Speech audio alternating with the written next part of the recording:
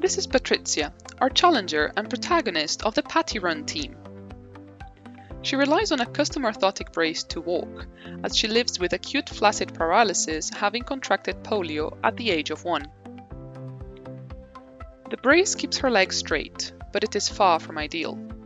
For example, to sit down, Patrizia needs to bend and twist her back to reach a lever behind her knee to unlock the joint. Over time, this has caused her chronic and worsening back pain. In addition, the brace is clearly noticeable through clothing, particularly when sitting down.